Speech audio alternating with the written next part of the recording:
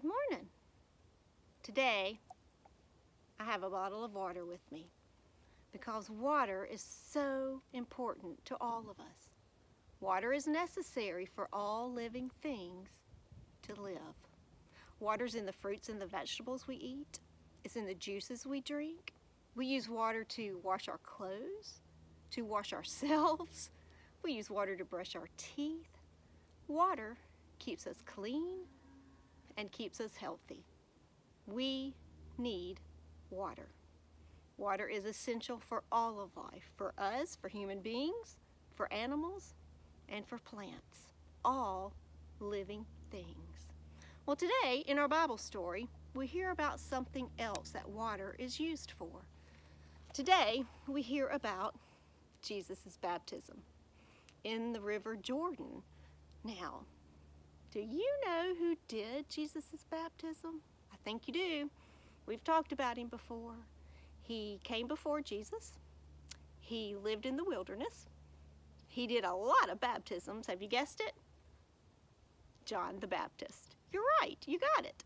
Well, John arrived before Jesus to tell the people about Jesus, to tell the people about who was coming to save them and he would tell them they would need to repent of their sins and to be baptized. And that's what he did. He baptized the people as they were waiting for Jesus to come. Well, baptism is a very special act. It's an act where we do use water to symbolize our sins being cleansed. And then we become members of God's family, of God's church. The water is the symbol the symbol that our sins are washed away and we have been given new life in Jesus. But you know what? Even as important as water is, John the Baptist tells us this I baptize you in water, but he will baptize you in the Holy Spirit. You see, when you accept God's love, God's Spirit into your life, then the Holy Spirit becomes a part of who you are. God's love is within you. It guides you, it nurtures you, it helps you live the best possible life.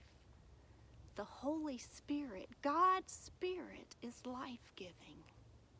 We need water to live, but we need God's Spirit to live fully, to be able to have the life that God wants for us. Can we say a prayer? Dear God, thank you for your baptism, the gift of baptism, and water.